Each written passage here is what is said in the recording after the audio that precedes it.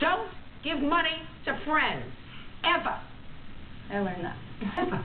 If they don't have good enough credit to get a loan from a bank, don't give them money and expect to get repaid.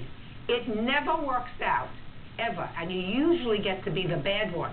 You're usually the one that's unreasonable, unfair, she doesn't need it, why is she coming after me, why is he coming after me, I don't have it. It always ends up being your fault.